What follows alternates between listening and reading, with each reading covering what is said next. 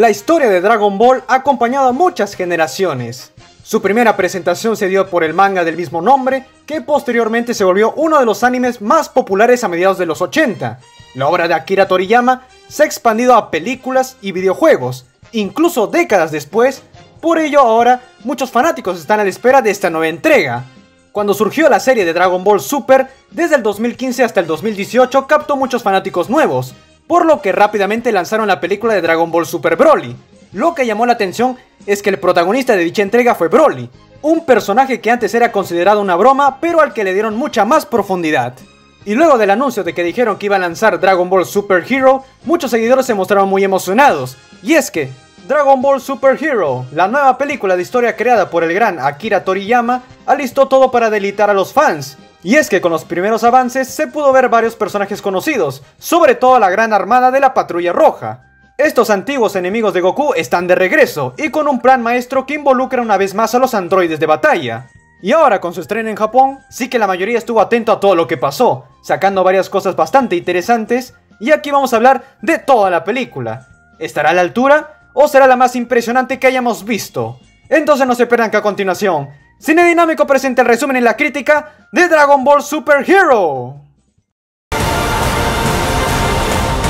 Dragon Ball Super Super Hero La película empieza con un flashback seis meses en el pasado con el ejército de la Patrulla Roja, Magenta y Carmín queriendo reclutar al Dr. Hido. Por cierto, se confirma que Magenta es el hijo del comandante Red, que es el líder del ejército de la Patrulla Roja y Carmín es como su asistente.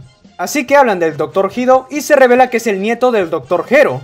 Incluso se muestra en el monitor que su esposa se llamaba Bomi, que es la versión humana de Android 21. Y claro, nos muestran que tenía un hijo llamado Gebo, a quien diseñaron en Android 16 después. Total que luego de la discusión ya van a reclutar al Dr. Hido, que estaba en la cárcel, y lo convencen de que la corporación Cápsula es malvada y confabulada con los extraterrestres, mejor conocido como los Saiyajin, para destruir el mundo, aunque sabemos que mienten porque en realidad ellos quieren apoderarse del mundo, y logran convencer al Dr. Hido para que piense que la corporación Cápsula son los villanos y la Patrulla Roja los buenos. Luego de esto estamos en el presente con Picoro entrenando a Pan para poder controlar su ki, y quiere aprender a volar, también dice que nunca vio pelear a su padre, y pregunta si realmente hubo un momento en el que su padre era más fuerte que su abuelo. Piccolo dice que sí, y Pan se emociona que su padre sea fuerte, y corre a la escuela con una velocidad supersónica.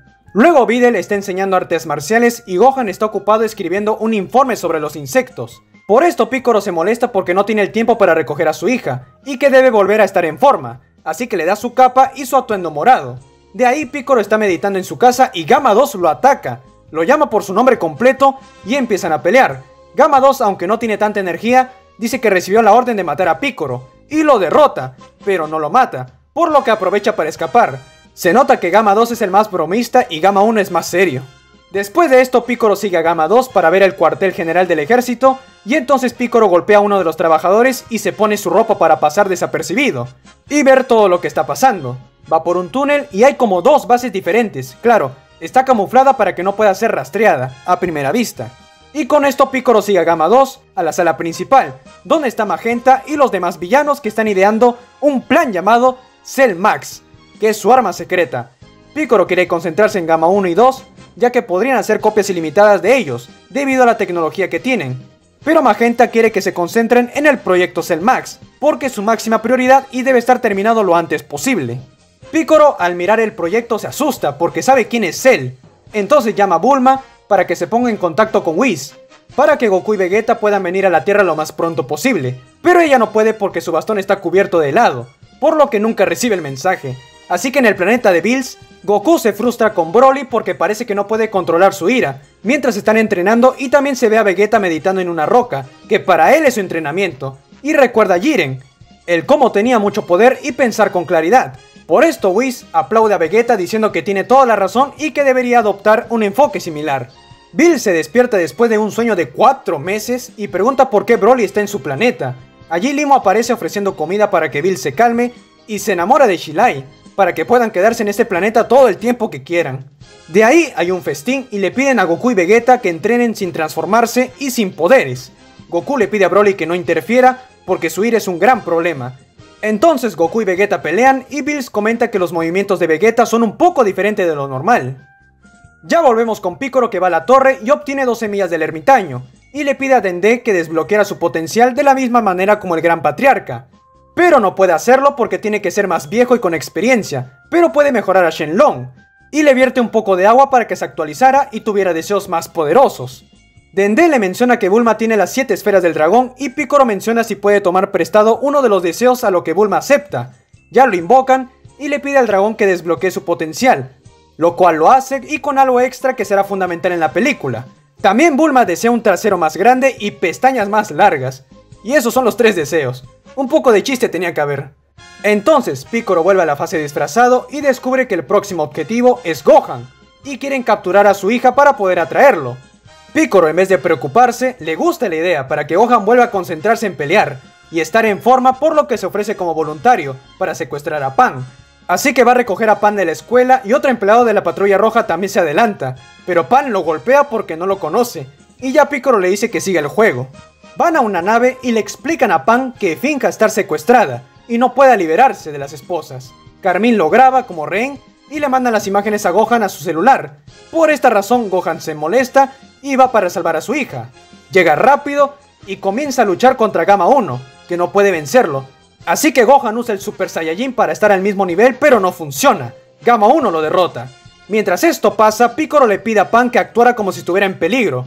Y Gohan ve eso y se transforma más fuerte. Por eso mandan a Gamma 2 para que lo ayude.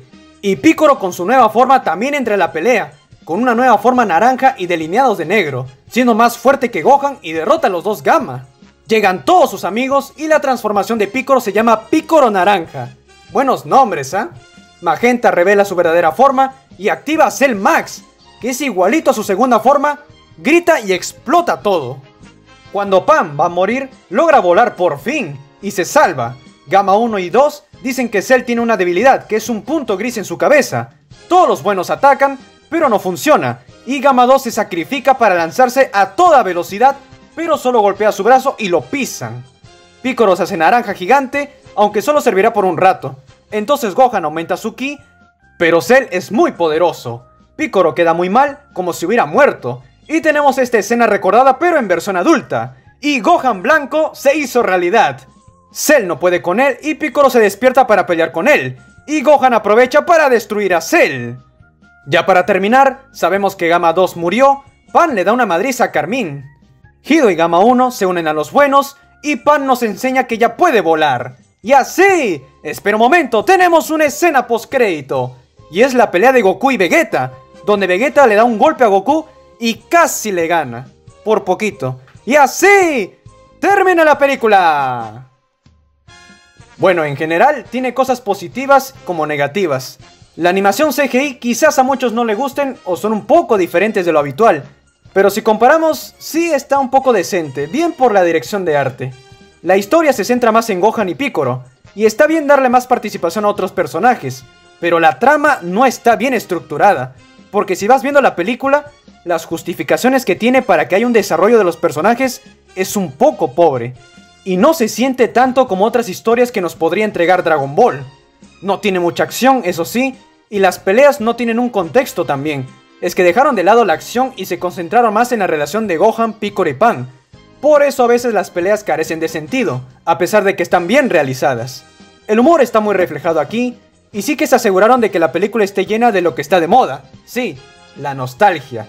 Porque en toda la película podemos ver varios guiños, personajes conocidos, y bueno, si tienen la posibilidad de hacerlo, está bien, porque sé que varios fanáticos les gustará ver eso, y sobre todo las referencias que pueden dar.